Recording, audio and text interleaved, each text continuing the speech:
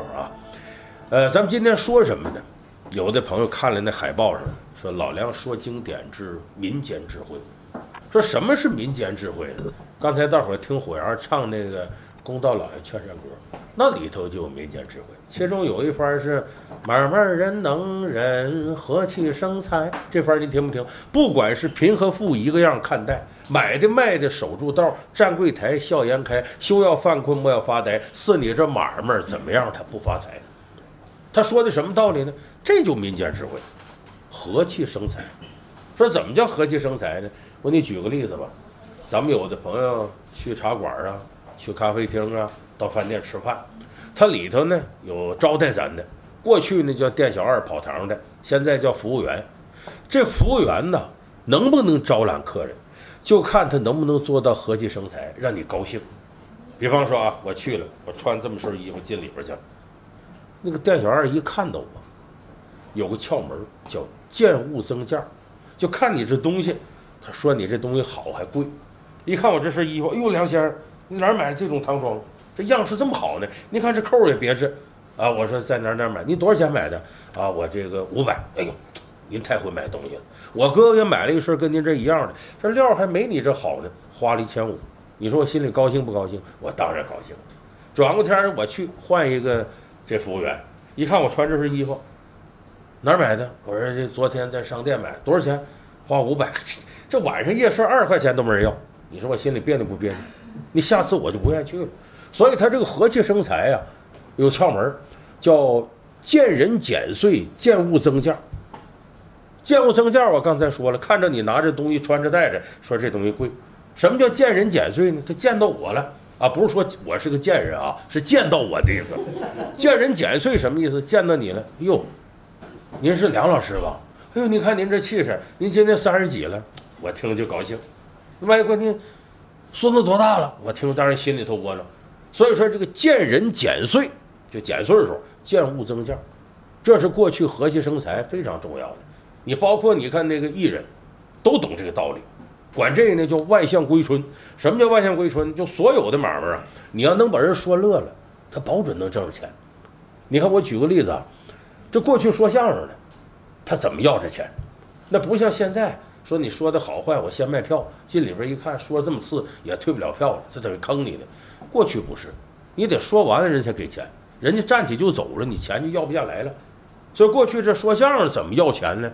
他有一套独特的方法，这就体现了咱刚才说的和气生财，万象归春。他怎么要呢？比方说你站起要走，哎哎，这大哥，这大爷，这大叔，您别走，您听我再说一段，不长，最多两分钟。我说完了，您要乐了呀，哎，我也不要钱了。那你我看你是带着烟的，你赏我根烟抽。您要没乐，抬腿走您的，我不拦你。这不一拦，不好意思，行，我听你一段吧。这说相声给他说了两分钟，说完了很搞笑啊，他乐了，乐了，赏你根烟吧。哎，随身把这烟掏出来，噌，蹬出一根来，往前一递。这说相声一接这烟呢，故意没接着，手一松，啪嗒。这烟掉地上了，说相声公要捡起来，上面都灰，吹吹，哎呀，这也就是我们掉地上捡起来，擦干净还得抽。哥，您这大老板，您肯定不稀得抽了就扔了。哎呦，这还中华呢，啊，您是软中华，一盒六十，这一根得合三块钱呢。这三块钱也就您，这搁我们这三块钱呢，能买好几个馒头吃好几天。这么着吧，您呢，甭给我这烟了，您给我三块钱行不行？救救我几天。你说人有身份的人，谁能来这脸儿？他不给就走，这时候钱就要下来。所以我说这个呢，就是中国传统的民间智慧，和气生财。那咱们今天呢，呃，光说当不了唱，光美当不了浪啊，烧热的锅台也当不了炕。咱们今天就好好给大伙儿说说这个民间智慧真正的含义是什么。天为罗盖，地为毯，日月星辰伴我眠。什么人撒下名利网？富贵贫穷不一般。也有骑马与坐轿，也有推车把担担。骑马坐轿修来福，推车担担命该然。骏马驮的痴呆汉，美妇人常伴着夫眠。八十老翁门前站，三岁顽童染黄泉。不是老天不睁眼，善恶到头这报应循环。民间智慧的核心，听我刚才最后那句：善恶到头这报应循环。因为中国人过去啊，生存资源有限，这个日子过得都挺苦，所以为了生存呢，有时候难免呐，干点不是那么太道德的事儿。你看过去三百六十行里头，你看有当妓女的，有做小偷的，有当乞丐的，也有劫道的。他这呢，说穿了什么呢？都是为了生存，没有办法。那么为了生存，可是为了生存呢，他得有一个约束。就说每一行里头，这民间智慧，它的生存智慧高度发达的同时啊，它为了能够约束住你，不要把坏事做大了，它还有一套办法来约束你。这约束的办法呢，除了规矩以外，咱刚才说这个善恶呀，啊因果报应啊，这个天理循环呐，呃好事啊积德呀做准呐，这都是约束你少做坏事。你看，不论什么行当都是，他先强调生存智慧。啊，保暖思淫欲，饥寒起盗心，哎，然后呢，再想法约束你。咱就说，呃，这比较差劲的行当吧。你比方说小偷，小偷呢，有时候小偷还有这行当，呃，跑江湖的管小偷这行叫荣点，哎，呃，也有管小偷叫老荣的。这行在过去啊，不像现在，就是他偷东西啊，他不仅方法上能做到极致，而且呢，他有一定的约束。比方说，过去小偷。说不偷救命钱，有时候好像现在也听说呀。说你比方说医院的门口啊，呃，外地来个农村人，哎，身上就揣几千块钱，指着点钱救命的。说这你就别偷了。说好像过去还真有小偷守这个。说是他讲道德吗？不是，他是为了自身安全。你琢磨琢磨，您是个大老板啊，家里头家财万贯。小偷在您身上偷二百块钱，你说你能追这小偷一趟街一趟街追去，把自己累个孙子样？不可能，不在乎那二百块钱。可是万一您身上浑身上下就这二百块钱，指这个买药治病，你想小偷偷了，你能不找？能不追？能不抓？能不报官吗？所以为什么小偷不偷救命钱？哎，他有这个道理。他万一把这钱偷去之后啊，你肯定得报官找警察，一个劲儿追查，抠着不放。这小偷这俩钱拿的也不碍事。所以你看，他这个道上的规矩是什么呢？防止啊，你遇到太强烈的这种抵触，太强烈的反抗。所以这小偷的规矩，咱们说不偷救命钱，现在也被打破了。你看有那小偷，呃，什么损钱他都拿；还有的小偷呢，呃，偷完了被人抓住了，给打的都都快生活不能自理了。我跟你过去小偷好像不是那样，小偷讲的什么呢？我要偷完你呀，你要追我，我跑，那不叫能耐。那很次，我偷完你呢，你吧还不追我，一时半会儿又不知道，你就知道了，你也逮不着我了，甚至你根本不知道是我偷的，这是过去小偷能耐。为什么说中国人生存智慧高度发达呢？这小偷里头能想出各种各样的办法偷东西，而且那个想法非常高妙。我上一期直播吧，还大上期，我不记着了，我不讲了一个吗？就偷布的事儿吗？那大石烂开那个布店的那个什么？呃，钱祥仪呀，瑞福祥啊，呃，雇小伙计，专赶到大夏天下午，这小伙计也犯困，直点头在门口呢。这贼进去了，小偷进去了，左看看右看看呢，大大方方拿两匹布，夹到这个腋窝这儿就往外走。有人说那伙计看着不拦吗？哎，不等你伙计看着，他先跟伙计打招呼，走到柜台前，掖着，哎哎哎哎哎，行行行行，这伙计这不，嗯，什么事儿？一看他拿两匹布，你干嘛？哎，你这收布不的？什么收布不收布？这大买卖，我这有两匹布，你便宜点卖给你们行不行？这小伙计一琢磨，便宜点卖给我，你这是哪儿偷的吧？你拿我们这销赃，去去去去去去去去！哎，对不起对不起对，夹两匹布他走了。这小伙子跟另一个小伙子聊天，你看你看看，这这光天化日之下，这小偷上咱这销赃来。这不定哪家倒霉呀，哪家店呢，让他偷走两匹布上咱这卖了。呀呀，就咱们丢的。你看，这时候他才想起来，说谁有时候想那个办法啊，那是精灵古怪。我再给你举两个例子，这都特有意思的。你今天听我这说完了，回头你给你的朋友啊喝个酒干嘛聊天你说说，他保准没听过。这过去还有种偷帽子的，这偷帽子怎么偷呢？那个原来那帽子呀。咱说现在这你看着，过去有那海龙的帽子，哎，就像现在说汉塔皮的，很值钱。那个原来呢，一搭大戏台，这冷天呢，大家站戏台底下看，戏台在这儿，戴着帽子，大伙儿穿一身在这看。说你到那把人帽子偷走，人能不追吗？哎，他有办法。这偷帽子的人呢，看好了，这个人戴着个海龙皮的帽子，哎，往这一站，他就站他呀斜后边侧身这。他带着什么道具呢？他拿个猴皮筋儿，这皮筋儿，他没戴帽子，他把这皮筋儿搁脑袋顶上，哎，在这儿转着啊，有弹性的，怎么转？这上面唱戏呢，唱的正热闹呢，哎，这位呢也在这好，戴帽子这位喊好。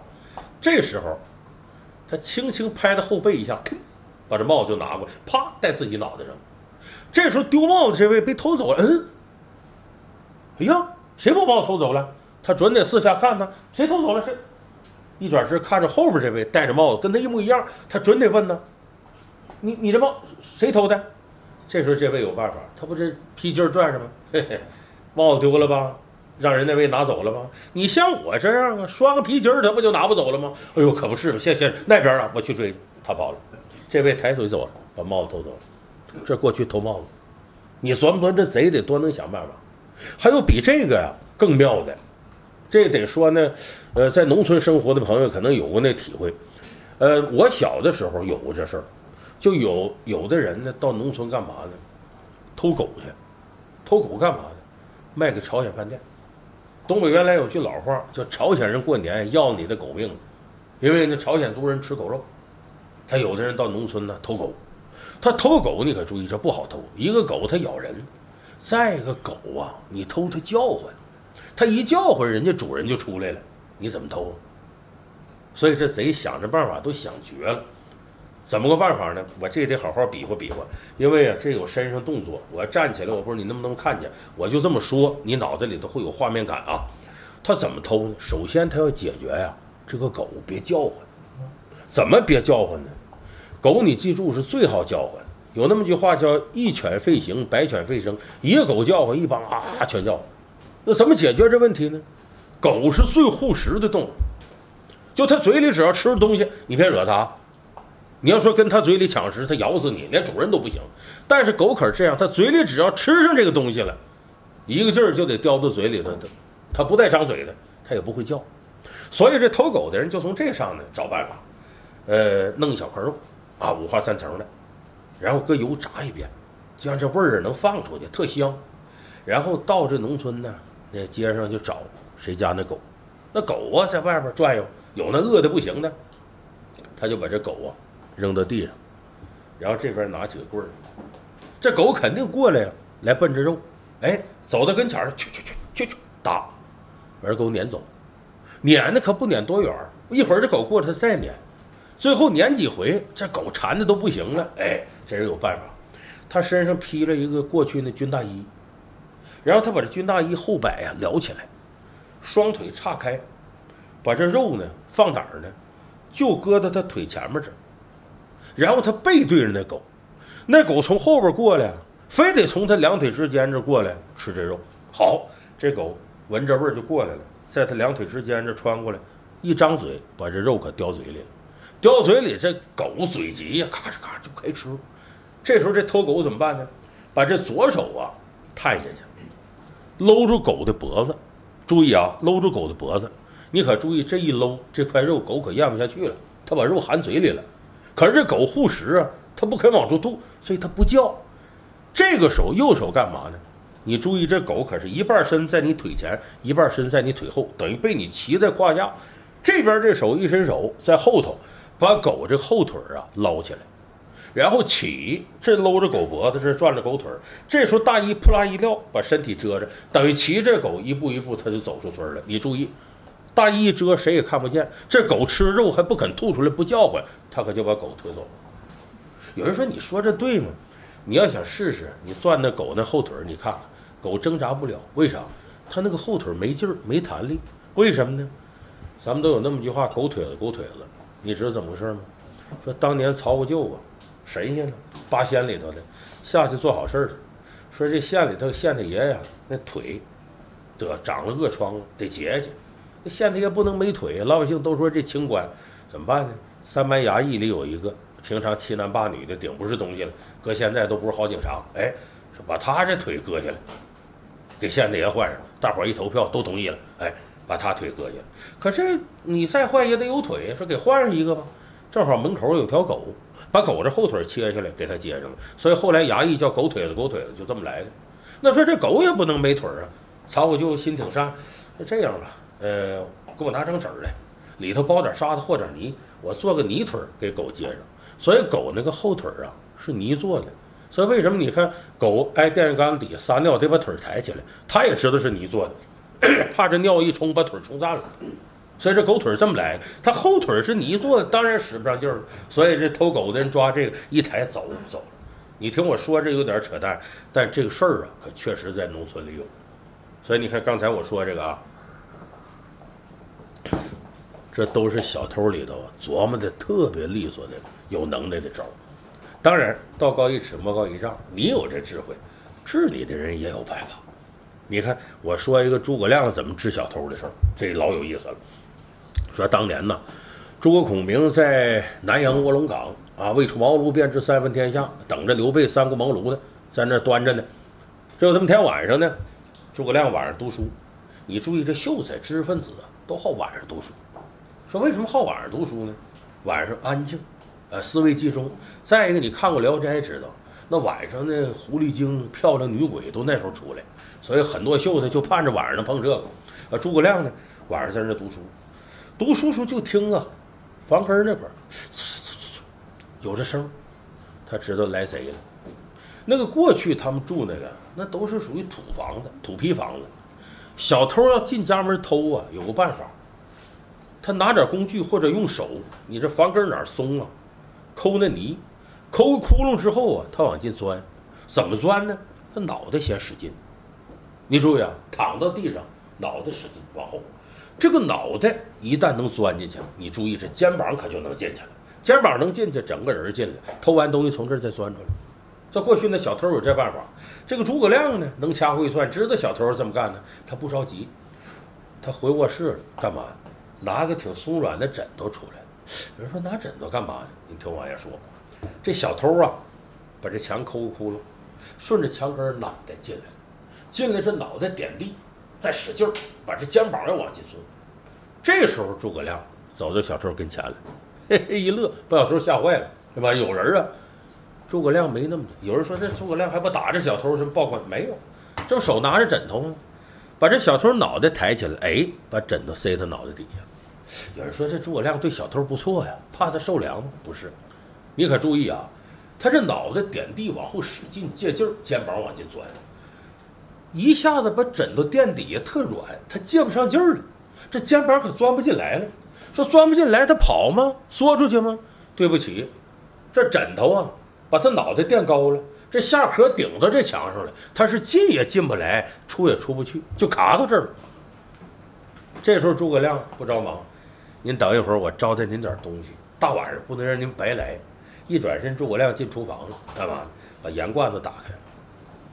半罐子盐，哗哗哗，倒这么一大碗里，然后倒点温水，搁筷子搅和。一会儿功夫，化了。你琢磨琢磨，这这水得多咸？半罐子盐，这点温水。然后拿着个勺出来了。你来了，我得招待招待你。来，㧟一勺盐水，你喝。小偷哪知道这什么？这毒药？嗯，不喝。好，一捏鼻子，憋气，一张开嘴，哗，一勺倒进去。再一捏鼻子，哗一勺，再一会儿功夫，也就那么二十来勺吧，这一碗水就进去了。进去之后呢，诸葛亮歘把那枕头啊拿开了。这小偷一看拿开了，这让我跑啊！一使劲呢，脑袋点地呀，顺着墙窟窿出去了，跑回去了。说这诸葛亮干嘛呀？大晚上喂人家盐水呀？说是不是这人缺钙还怎么不是？为什么呢？这个小偷啊，有吃白天的，吃黑的呢。吃黑那是什么呢？半夜三更出来偷的。那么这个点儿出来偷来，小偷是不吱声的买卖。你看你卖个东西，人各位来了，谢谢啊，里边请。这吱声的买卖，小偷是不吱声的买卖。他大晚上上人家去，哎，这东西藏哪儿了？存折呢？没有这样偷东西的。所以他这时候啊，不能吱声，整出一点动静来，容易被人发现。那么诸葛亮为了他二十多勺盐水，你可注意，过去那盐质量可不怎么地。里头什么杂质都有，他这时候喝下去了，回到家里头这个咳嗽把他给齁着了，以后就形成个习惯，到半夜这点他就咳嗽，到这点就咳嗽，他怎么出去偷东西？一咳嗽你都知道了，哎，这等于今后啊，他就干不了小偷这行了。所以你看，道高一尺，魔高一丈，就是说呢，他有高度发达的生存智慧，也有能化解这个的。但化解这个呢，有一种方式不是硬碰硬，这就我说到民间智慧的另一个层面，怎么能够约束你？这个约束你呢，往往是咱们现代人经常说的，你呀少做点损吧，多积点德吧，好好干活吧，啊，别干那些害人的事儿，早晚你善有善报，恶有恶报。这个善有善报，恶有恶报，就是中国古人基于生存智慧的层面，如何约束人干坏事的法宝。说这个有那么大约束力吗？你看中国这民间故事，不论是有名的人啊，还是属于乡野村夫。他往往高抬教化、劝人向善的时候，多少都有这么点故事。你看，我再给大伙讲个事儿吧。刘墉您知道吧？刘罗锅。这个刘墉是山东人。他小的时候啊，后来刘墉写自己的这个回忆录啊、笔记啊，写过这事儿。那时候他九岁。九岁呢，每天早晨呢，他起得特别早。家里头呢，呃呃，对他教育很紧，早晨起来读书。读书呢，他在这个屋呢，推开窗户啊，就能看着这下边一条小河，对面就是个小桥。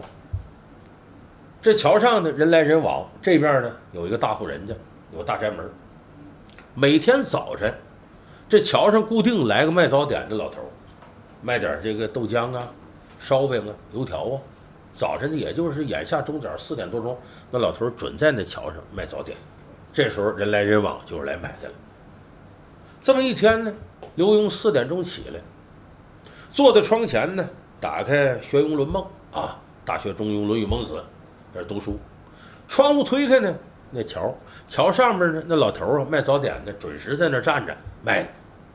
这个时候呢，天呢亮是亮了，太阳还没出来，还有点阴天下雨似的，反正湿不揪的这天。正这时候，刘墉看着啊，从桥那头。过来一个挑水的年轻人，这不得给谁家送水呢？挑，扇扇扇扇扇上桥，走到这老头跟前呢，买早点。这刘墉隔挺远看呢，看俩人在那说着说着，好像吵起来了，但也听不清俩人吵的是什么，可能是讲价没讲妥。就见那老头啊，推了这小伙一下子，这小伙脚下一不稳，身子一斜。这不肩上还有扁担呢，啪就掉地上了。这小伙被这个扁担一带呀，脚底一滑，顺着栏杆唰一脑袋栽水里。这个小河虽然不大，水可挺深，也挺急。这小伙子下去就没见上。这时候刘墉就见那老头啊，也吓愣了，站在桥顶愣了一会儿，往底下看。不一会儿，这老头醒过味儿来了，坏了，出人命了！我这一推，他掉下去了。那老头划拉划拉摊儿，仓皇逃跑，跑了。这个时候天呢，我说刚亮，没多少人呢，也没人注意这事儿。可是刘墉呢，在窗前读书，九岁小孩啊，心明眼亮，看着真真的，心吓得砰砰直跳。隔了一会儿呢，就听河边有人喊：“哎呦，河里有人呐！是淹死没淹死？”有人就看着河里浮上来了，那小伙子淹死了。这时候呢，有人报官了，这衙役就来看，不知道怎么回事。那这每年失足落水而死的人多了，这算什么事呢？这就无主的尸体，打听打听谁家的，是意外落水了，这事儿就过去了。刘墉九岁小孩他哪有那么大胆子？说我看出来，我报官去吗？他害怕，不敢吱声。可是他心里头总琢磨这事儿。每天早晨再起床读书，我推个窗户再看，那老头没来。隔了大概有一个礼拜，哎，那老头出现了，可能是那老头东打听西打听啊，啊，没他什么事儿了，这波算过去了。老头又来卖早点来了。那么这个刘墉一看，这老头这，哎呦，他把那小伙弄死的，别人谁不知道，我知道，他搁心里是个事儿。有这么一天早晨呢，刘墉起来，把窗户打开读书，一看那老头呢没来呢，可他往桥那边一看，吓一跳。就见那天见着那个淹死那个年轻人，挑着水，呼扇呼扇呼扇，往桥上走呢。把刘墉吓得大气都不敢出，这是不是鬼呀？我见着鬼了吗？一看那小伙子飘飘忽忽就上了桥了，飘飘忽忽就走到桥那边，哎，那边是个大宅门，有钱人家的一个府邸。刘墉眼看着那小伙子走到那个大宅门外头那墙，也不知怎么的，滋溜，那上没门，他钻墙里去了。刘墉揉揉眼睛，我眼睛花了吗？没有啊，这小伙走那就没了，进墙里了。正琢磨这功夫呢，就听那府里有人喊：“太太生了，太太生了！”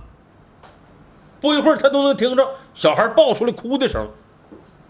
刘墉虽然小啊，他那时候也饱读诗书了。哎呀，我见着这个小伙子死了，那忽忽悠悠进墙里了，那家就喊生孩子了。这别是死人拖上了，转世投胎了。在这之后，刘墉可就记得这事儿了。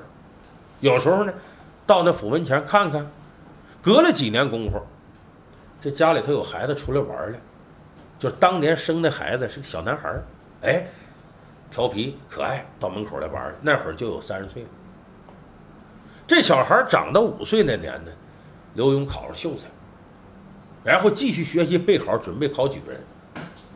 可是有这么一天早晨，发生了一件特奇异的事儿，什么事儿呢？早上四点钟，刘墉推开窗户，哎，读书。对面这桥上，一切如旧，老头站那卖早点。读到五点多钟的时候，就看那边大宅门呢，门开了，那个五岁的小孩啊，出来玩来了。大清早起来玩，玩什么呢？门口有棵树，树上边落着那个巧。麻雀叽叽喳喳叫唤，小孩从地上捡起石子儿，我让你叫，啪往上扔，没打上；我让你叫，往上扔，扔好几个没打着。小孩也来气，说我是离远点撇，我这就能打上你。在地上捡起来呀，小半块砖头，这比原来那石子儿大，往后退退退退挺远，我打你，唰扔出去了，劲儿使大了，没打到树枝树杈上，这砖头唰。在空中画个抛物线，落哪儿了呢？您都想不到。这老头站桥这边啊，卖早点的，扒着砖头就打到老头脑瓜正中这儿。老头晃荡两下子，扑通，身体往后一仰，弹到栏杆上，啪，摔河里头。有人说这小砖头能把老头打这样，您可别忘了，人脑袋顶上啊，正中这块是个穴位，叫什么呢？叫百会穴。这个穴位啊。连着大脑神经，也连着心脏。你看他这个是个砖头，我还知道件真事儿，比比这都寸的，就是这一个人在楼上啊吃饭，吃饭拿着筷子吃呢，这楼底下过来一个人儿哎，这小子吃饭过程手一松，啪，筷子掉下去了，这筷子笔直下着，咚，正砸的这人百会穴，这是汤地躺地上就撂上去，这可就不是假的，这真事儿。就这说实在，这叫寸劲儿。那比这寸的都有。下雨天，牵着马往前走，这马这不是地上很泥泞，这马俩蹄子踩个水坑，后边俩蹄子踩个水坑。这人跟着马后头走，一脚踩到啊，后蹄子踩那水坑上，这脚下一滑，吧唧往前一抢，嘴正好抢到前面那坑里，那坑里有水，一口水呛死了，算不算？这事儿真事儿，真有。而这老头呢，被砸到头顶百会穴上，一阵眩晕，啪，一个折到河里去了。咱刚才说这水深呐，不大一会儿啊，就听那边有人说：“河里怎么有人啊？”哎呦，这不是那老头吗？大伙七手八脚把他拽上来，呛几口水，早淹死了。刘墉看到这儿啊，长叹一声：“这人呐，真没法看见。想当年那个老头失手推死了那小伙子，掉河里淹死了。”这小伙子转世投胎变成那小孩儿，那小孩儿肯定不记着前辈的事儿啊！拿起这石头打这巧，没打上，石头子飞出去打中老头，老头翻身落水，这叫什么？一报还一报，一命还一命，这是。你看这个事情，就冥冥当中啊，似有天意。哎，顺成人，逆成仙，都在其中颠倒颠，你跑不出去。所以这个事儿就告诉人什么呢？你呀，别干坏事儿。你干坏事儿得勇于承担责任，逃避责任，你这最终你落不着好。哎，就像咱们说有的那个肇事司机呀，哎，肇事之后逃逸了，那早晚是是个事儿，搁在心里他都是个病。真侥幸逃脱，这辈子他都做不好。不定有什么事儿遭了灾。所以中国过去民间呢，流行这些传说，哎，民间故事，你不要以为它是凭空瞎编的，都起到高台教化的作用。甚至有时候细到什么程度呢？为人处事过程当中啊，你就不是有心的干坏事儿，甚至这都不是坏事儿，但是你把人家重要的事儿耽误了，你回头也捞不着好。我再给大伙儿说一个事儿啊，这个事情呢发生在这个大清，哎，应该这是算是嘉庆年间的事儿。哎，在天津有这么个秀才，姓王，考上秀才之后呢。迟迟中不了举人，一晃都快三十了，也没成家。打小呢没爹，跟自己妈，哎母子二人相依为命，这日子过得就别提多穷了。一晃呢，这家里头他读书啊，不是生产，也没挣不来钱。老妈开始给人洗洗涮涮，后来岁数大有病，这家里呢算是断了进项，这穷的都不行了。日子这么穷，他母亲本来营养不良。眼见这身子骨就不行，家里头就卖点这个卖点那个，今天卖贵，明天卖锅的，反正这么对付，对付来对付去，他老娘眼看呐，躺炕上就倒气儿了。找来大夫一看，说别治了，治不好，油尽灯枯。说也就是这三五天的事儿。这天早晨呢，一起来，这王秀才看着自个儿老娘喂老娘几勺水，悲从中来呀，他也掉眼泪，娘啊！你可怎么办呢？你死了，我可怎么办？老娘把眼睛睁开，孩子，我恐怕呀，熬不过这两天了。没别的心愿，我跟你爸爸成家时候啊，喝过一回他做的鱼汤。我死之前呢，你能不能让我喝上碗鲜鱼汤？王秀才这时候这眼泪止不住了，我昂藏七尺男儿。这点事儿满足不了我母亲心愿，我妈眼看就没了，我我买去，买鱼，搁什么买呀？家里穷叮当响，再看屋里头能卖的东西都没了。往这屋外走，他一看，哦，墙根那儿啊，有口水缸，这家里盛水就这么点东西，得，我把这水缸卖了吧，大致能卖个几十文钱，哎，够买一尾鱼。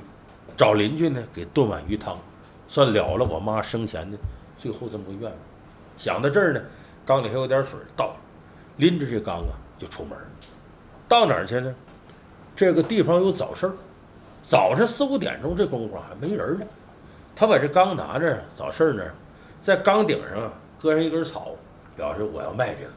他就蹲那儿等买主。不一会儿功夫呢，天蒙蒙亮的时候呢，哎。过来这么俩人，两口子，哎，可能是早上起来不知干什么事儿，走到这儿一看，哟，这有卖缸的，看看，正好咱家缺一个，瞧一眼吧。你这个怎么卖的？我您给五十五十文，不是？看看，上下看看，这缸都旧了，这二手的。俩人就谈价，谈谈说这么着吧，三十五文钱，好。眼看要成交了，人家这女的也从包袱里往出掏钱，这个时候呢。对面过来个人，对面有个杂货店，卖个针头线脑的。这杂货店老板呢，早晨起来窄板开张。这老板姓樊，这樊老板呢溜达过来了，你看哟，这么早还有人卖缸的？哎，你你买了？哟，王秀才，家就剩这点东西你也卖啊？看看这缸，看着看着这个，樊老板说了句话，没这句话后边惹不出这么些无妄之灾。也不会死这么些人。他张嘴说了句什么呢？这缸得局了。咱们有朋友知道居锅居缸，缸得局了什么意思？他有问他才得局啊。这个时候要买这缸，这两口子，嗯，缸得局了。再看看底儿啊、帮啊，都看一遍。哟，可不是嘛。这时候天蒙蒙亮，已经能看着点了。真有一条细缝儿，嗯。秀才不老实啊！你这缸都破了，你卖我？不好，不好，不好，不要了！抬腿走了，把这王秀才给气的。我娘在家倒气儿呢，能活多长时间？能不能吃这碗鱼汤不一定。你你坏，哎，心里别提多难受。这樊掌柜一看，怎么了？这有事儿不让我说呀？一看他这样，一扭头的樊掌柜回自个儿店铺。这王秀才站到这儿，捏呆呆发愣，把眼泪抹吧抹吧，哎，再来买的我二十文就卖。站到这儿，左等人也不来，右等人不来。突然间，街口那边就看远处这人啊，跟飞似的，哒哒哒往过跑，跑到这王秀才跟前，咣，一头就撞到王秀才身上。就见这人身上呢，左右呢拿俩包袱，背后背个包袱，一撞，这右肩膀这包袱啪。也撞到王秀才身上，王秀才扑通就坐地上了。一看这包袱，啪摔地上散开了。这个人呢，头也不回的带那俩包袱接着跑，那是只恨爹娘少生两条腿，往南就跑下去了，把这秀才给撞的七晕八素的。哎呀，怎么回事？站起来呢，缓了一会儿，这撞的不轻。再看地上这包袱，他傻了，怎么着？地上这包袱散开之后啊，这好像是个金钗儿。有串珍珠，整个这包袱里头啊都是金人细软。哎呀，这王秀才可愣了，这这这这谁呀？这是撞到这儿啊？我我这想来想去，他觉得不妥，是不是？不义之财呀，他毕竟是个秀才呀，这个事儿咱不能干呐。这么大一笔钱，我这不是我的。他把这包袱划拉划拉呀，拢一块儿了，把东西都捡去系好了，把包袱拿起来，这谁的呢？哎，正这时候。只见街口那如狼似虎，三班衙役过来了，怎么着？怎么着？顺势跑了。好了，经过王秀的跟前，呀，你拿着包袱呢？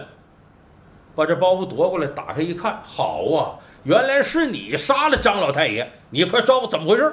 稀里哗啦，锁链给锁上。这王秀才懵了，怎么回事？我我没杀人呢。给他拉回衙门，一通告情况才知道怎么回事。这个街口往里大概有三百米左右，有个大户人家姓张，半夜三更的呢，家里头来了一伙盗贼，翻箱倒柜，金人细软，弄起包袱就要跑。这时候这张老太爷呢，岁数大，较轻，醒得早，听着有动静起来了，打灯过来，怎么回事？结果这盗贼呀，一急之下一刀把这老太爷捅死了，然后几个盗贼跳出墙院分头跑，其中一个盗贼。就穿这条道跑来了，这时候他着急，撞到王秀才身上，包袱掉也不管，跑吧。那头老太爷一死，马上他家里头人有动静，旁边就是衙门，有晚班值班的衙役出来，怎么回事？说顺那儿跑了，这些衙役跟着就追出来，追出之后把这王秀才就抓住了，抓住弄回到衙门里头。这个张老太爷他儿子呀，在天津相当有实力。在北京，人家也是有功名捐过官的，自个儿爸爸死了，这事儿了得吗？马上就追查怎么回事儿。这衙门口责任就大了，现多少日破案，反正逮着这王秀才了，逮着蛤蟆钻出尿吧，就在你身上了，你肯定是杀人犯了，定死了，得有交代。但是呢，这个事儿可不你一个人干的，杀人、抢这些东西，你说你团伙都有谁吧？至少得两个人配合才能干这事儿。你不把那个供出来，我们这案子结不了。这王秀才说：“我我冤枉，不是我打。”没办法，王秀才屈打成招。这时候他还惦记呢，我老娘怎么样？哎，监狱里头有个狱卒，跟他家是邻居，进来还给告诉他：“你还什么你老娘啊？你进来的头天晚上，你老娘就死到炕上了，是咱们邻居给收的尸。”王秀才一听这个，嚎啕痛哭。这时候万念俱灰，我招，我招。说你招吧，你同伙都有谁？就那个，那那那那针头线脑铺那那掌柜的，樊掌柜的，我们俩是一伙的。我们头天晚上定好了，他拿着刀到他家捅的人。这帮衙役一看，哟呵，破案了，把这樊掌柜、马尖头龙二位就给捆来了。捆来之后，樊掌柜当然不认，我没干，打。屈打成招，也画了押，这案子就算结了。俩人判了斩监后，秋后问斩。等到要杀这两人的时候，马金头、龙二被推出去问斩，俩人都跪在地上了。这樊掌柜看着王秀才呀，眼睛里都要瞪出血来了。我说呀，王秀才，我和你远日无冤，近日无仇，你为什么要害我？这王秀才说：“樊掌柜，你想想。”那天早晨，你要不说这缸得局，我把这缸卖了三十五文钱，买上一尾鲜鱼，请邻居炖好了，把鱼汤递到我老娘手里。我老娘喝下去之后，也算生前心愿了了。我怎么能遭这样的罪，受这样的灾，担这样的不白之冤？我老娘死前这口气，是不是也能咽得下去，眼能闭上？你害了我，你更害了我全家，所以我不能饶过你。王秀才说完这番话呀，这樊掌柜长叹一声啊。哎呀，无妄之灾呀！哪想到大清早，张嘴说了这么句话，会引出如此多的祸端。你看，这个故事我估计您在百度哪儿的都找不着。民间传说，他什么意思呢？你看人家遭难的人呢，甭管他处在什么情况，他说的对与不对，能帮得帮一下。哎，人到了难处，你拉他一把。你别再往前推他，咱们有的朋友啊，看谁倒霉吧，他高兴，啊，一见到那怂他就压不住火，他这样心态。我小时候呢，我记得这个我妈就跟我说过那么句话，说孩子你呀上学，哪个班级里头都有那大伙看不上的人，他也骂一下，他也踩一脚，你呀别跟着大伙骂，别跟着大伙踩，你能帮帮他一下子，谁都不帮他，你帮他。他记你一辈子，他会报答你。可以说这个呢，你往小了说呢，小市民的智慧；但是你往大了说呀，咱们想想，人生在世啊，三穷三富过到老，那谁都有走窄的时候。你要走窄的时候，别人不帮你，你什么感觉呢？那哪怕是说我要了饭呢，是不是不行？你看有人就有那个，屋里头我要放点钱干嘛的？真有那个困难的啊！你比方说有的。呃，打的工干嘛的？把这钱拿走了，一会儿也不追究。哎，这钱拿走了，大不了他，小不了我。搁我这儿呢，抽盒烟没了，给他呢，解决孩子好几天饭。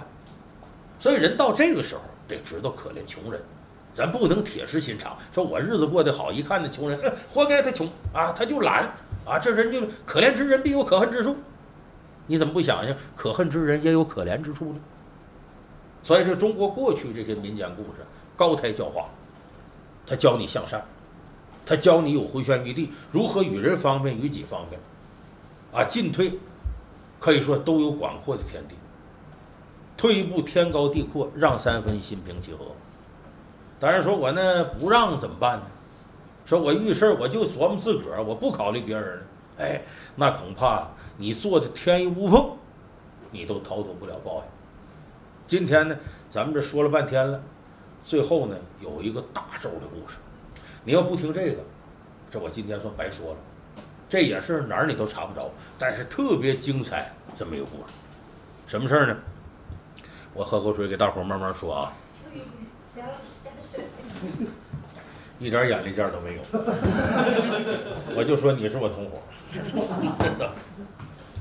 你先给我倒点来，就完了你再讲。先倒点。你要渴死我，你现在。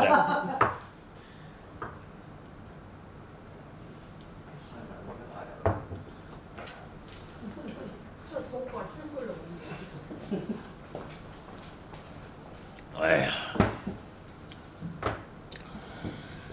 这个一口水下去，精神上来，给大伙精精神神啊，志志诚诚的说好。哎，这段书什么年间的事儿呢？大明嘉靖年间。这个嘉靖年间呢，山东枣庄，哎，当时呢，这个地方啊，有个知府，知府衙门里头呢，有这么一个文官，类似师爷似的。这个人特聪明，啊，帮助大老爷断案呢，什么啥的都没出过失误，心思也很缜密。后来呢，上级政府一考察，这官员，他这个很有能力，应该给他调一个好的地方，他可以独当一面。就这么呢，就把这位师爷呀，调到苏北地区的临城县，从山东枣庄到这个苏北临城，到那儿当什么？当县令。说这人叫什么呢？这人姓张，呃，也就是五十岁年纪，姓张呢，叫张永吉。由于属鸡的呢，有人管他叫张永基，啊，也有这么叫的啊。我说的可不是那张永吉啊，这是。说这张永吉上任当县令，成了大老爷，带着随从呢，从这个枣庄往临城走。鲁南苏北离着不多远，也就是道上啊四五天功夫就到了。这一天呢，下边随从说了：“哎，大老爷，前边啊就是临城，您瞧着没有？那有个小桥，过了那桥，那就临城城门。这个时候呢，桥下有流水呀、有趟小河，离多老远呢？这是下午两三点钟，就听见了这河边呱呱呱，青蛙叫啊！一看这这青蛙怎么这么多呀？再往近走，哇哇！这张大老爷觉得不对劲呢，没听青蛙叫声这么大呀。这个时候他坐在轿子里边呢，突然间轿子停住了，大老爷一掀轿帘，怎么回事？怎么不走了呢？一看呢，前面呢抬轿的人停下了，老爷走不了了，您下来看看。这张永吉老爷轿帘一伸下来了，四下看，哟呵，他往前面一看，发现这不是轿子正要上桥吗？桥顶真过不去，密密麻麻呀，全是青蛙。而且这青蛙怪了，都在俩后腿蹲着，俩前腿抬着，都对着叫的方向，啊啊啊，在这叫唤，声音越叫越大。这时候前面的随从啊，手里拿着这个鞭子，这这这这赶，怎么轰那青蛙不走？而且就看水里头砰砰砰往上蹦青蛙，桥面上落不下了，都在岸两边落着，全冲着这大老哇哇哇叫。这个场景，作为这张大老爷这辈子没见过。可是这张大老爷这些年呢，断案断的多，他知道吧，天有异象，必有异情。这里怎么事儿呢？他琢磨琢磨，难道是我过去见着我们老爷呀，可有人拦轿喊冤？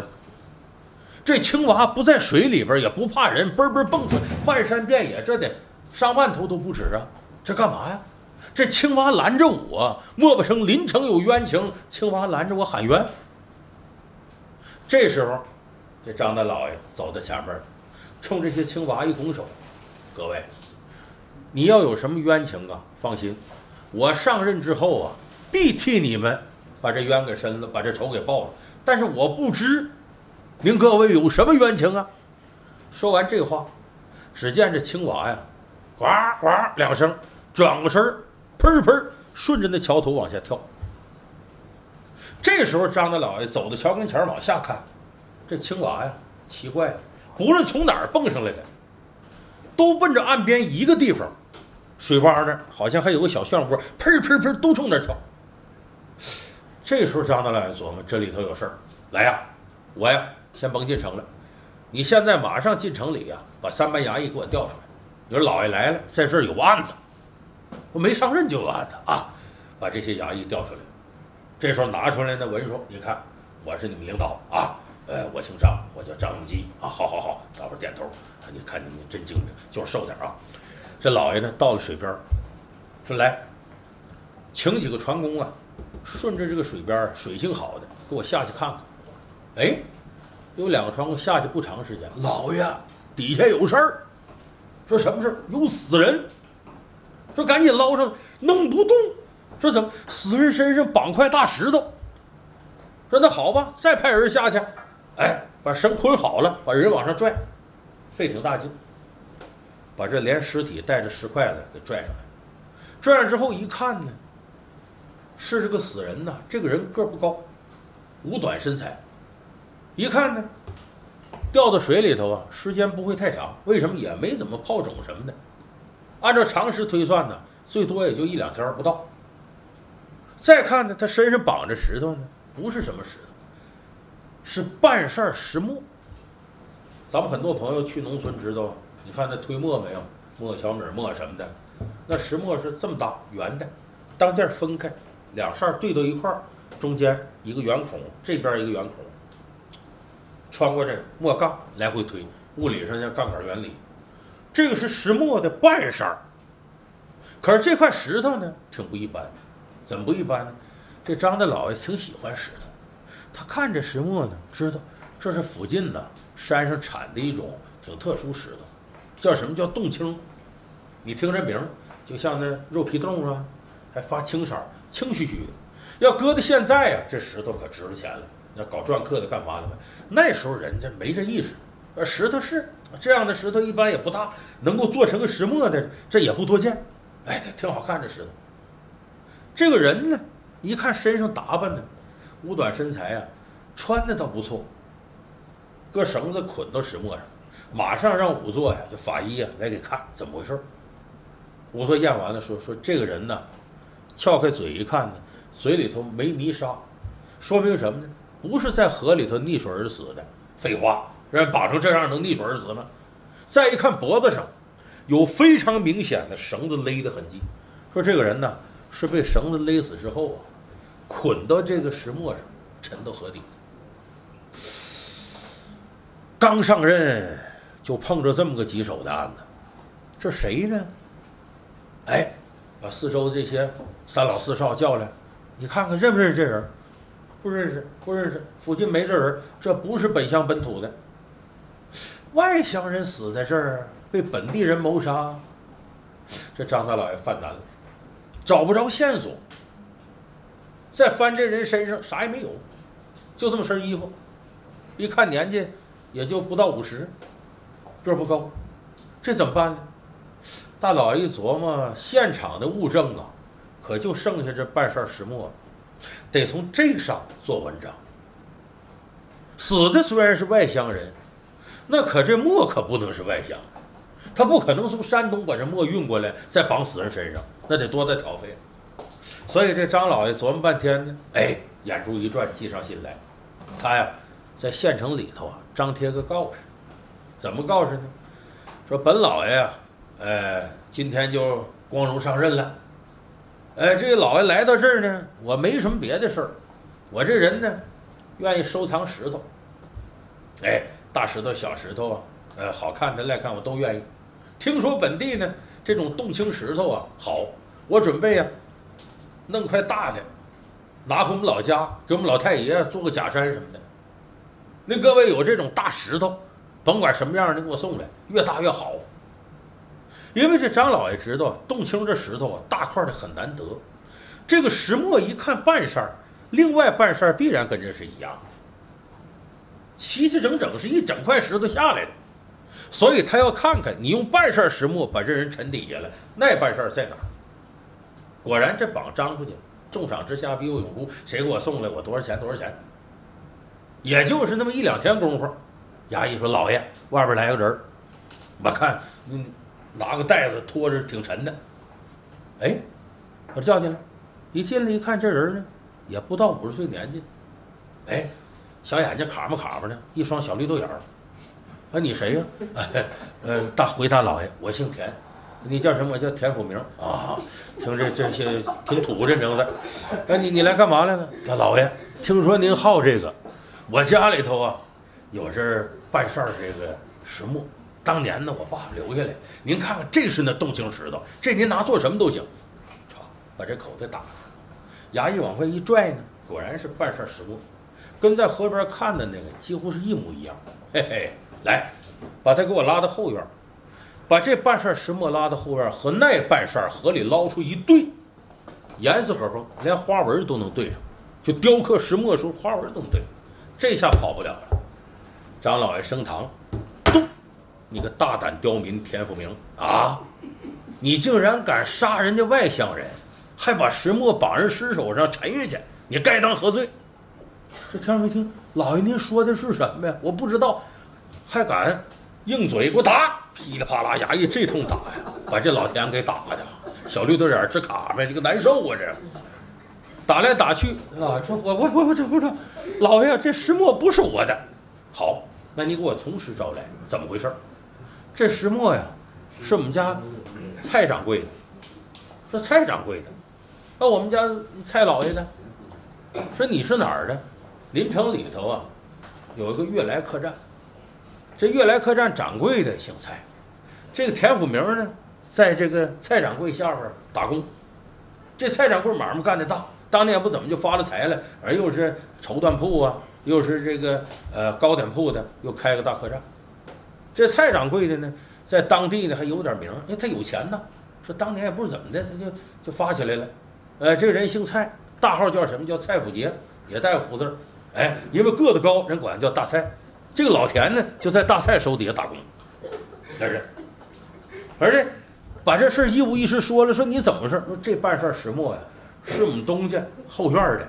我有一天呢，随便翻，我记得他原来有个石磨，哎，原原先他发家什么墨香油什么用这玩意儿，后来不是弄哪儿去了？我那天翻仓库翻到了，正好看到老爷您这告示，哦，我就贪财，我把这石磨费挺大劲，我把它扛出来偷出来了，我送到您这儿，我心想，请您俩赏钱，真不是我，真不是我。好，命令衙役去。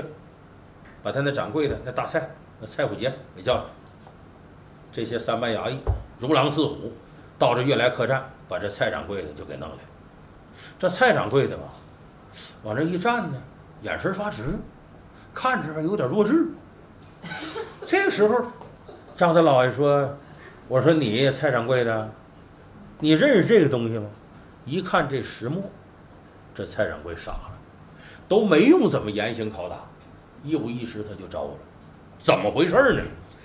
咱这时候得从头说说。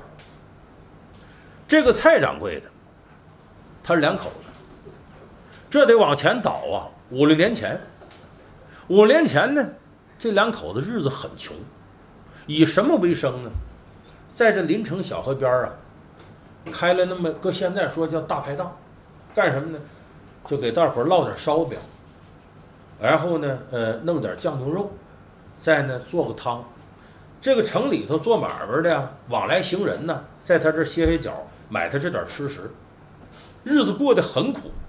这大蔡两口子呀，破衣烂衫的，日子过得很穷，外边欠不少债。要有这么一天呢，城外啊过来个买卖人，咱们书中暗表就是这个沉到河里死这位买卖人，五短身材，个不高。好像还拉个双眼皮儿。过来之后呢，到他这店里买烧饼，就聊上天了。说我了解一下临城风土人情。说您是哪儿来的啊？我是从东北来的。您贵姓啊？免贵姓吴。您叫什么呀？我叫吴万奎。哦，吴掌柜的。原来吴掌柜到我这儿来了。您尝尝我这汤。烧饼汤上来，一喝这汤，这我这汤怎么这么好喝呀？你怎么做的？他说您是外地人，我跟您说不要紧。我就指这汤的，我没这汤我得穷死。说这汤为什么那么好喝？我告诉你，这汤啊是个青蛙腿儿吊的汤，而且这青蛙腿儿啊，我专选那个公的，不要那母的，而且必须是两个后腿儿。你琢磨这青蛙一蹬地蹬蹬起来，俩后腿上头有肉啊，它香啊。我掰着后腿儿吊汤。这吴掌柜喝了一口汤，说：“我们万奎是没这个汤。”确实好喝，但是你这有点作损。他怎么？你想想啊，你就为掰这腿儿，你得害了多少公的青蛙呀？这事儿挺残忍，就为这么个腿儿，大小人是条性命。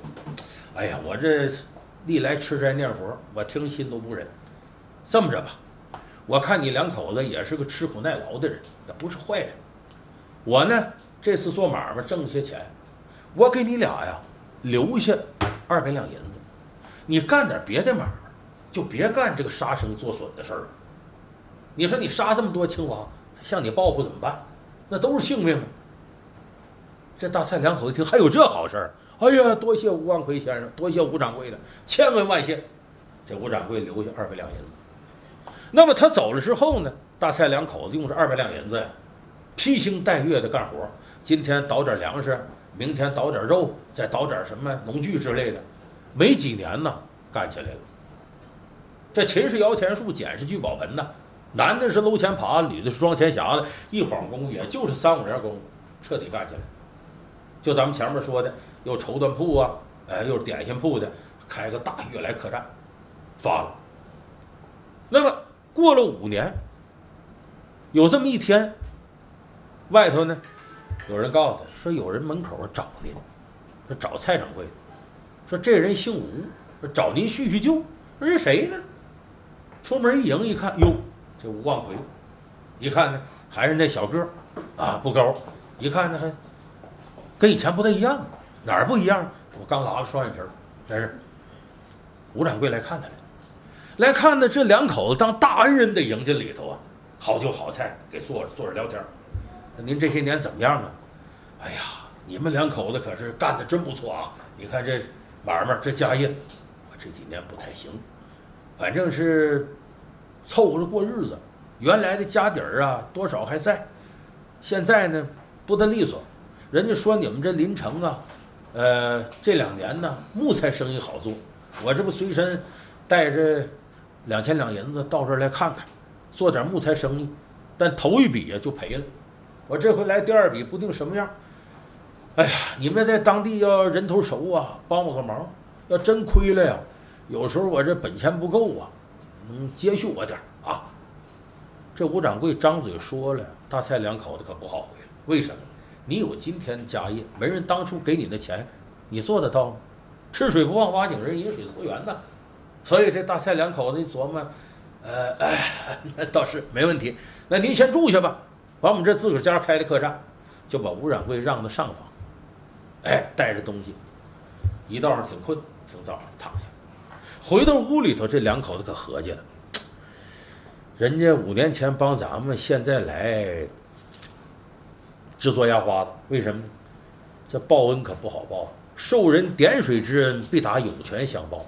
当年二百两银子得买多少水呀？咱怎么报答呀？把太平洋给他，咱这家业都给他，嗯，舍不得。可听他那意思说呀。他在这要做更大买卖，得咱给接续接续，咱这舍不得拿这钱呢，这怎么办呢？这恩报不了啊！哎，最毒莫过妇人心。大赛他老婆眼珠一转，咱报不了恩，那就得报仇啊！怎么叫报仇？大恩如大仇啊！这恩要报不了，压在咱头顶上，咱什么时候在他面前都是三孙子呀？依我看呢。莫说是他找咱们，让咱们帮忙，他身上可带不少银子呢。咱一不做二不休，搬不倒葫芦撒不了油，咱们就嗯，不是一家人不进一家门。这大蔡两口子心狠手辣，俩人算想一块儿去了。夜半三更潜入房中，拿根绳子。这大蔡身强力壮的，那吴万奎那小个哪受得了啊？嘎完双眼皮，体力还不够，滋儿一下子给勒死了。勒死之后，把这个尸首拿出来，怎么处理？这么办，前面就是这小盒，咱把家里那石磨拿出，捆在身上，沉河底下，神不知鬼不觉，这事儿就过去了。于是这两口子啊，趁着晚上，啊，寺外边没人，天漆黑的，到了河边，把这尸首就沉下去了。可哪曾想啊，这些年，因为这个吴万奎给这二百两银子，大蔡两口子没干这个杀生的买卖。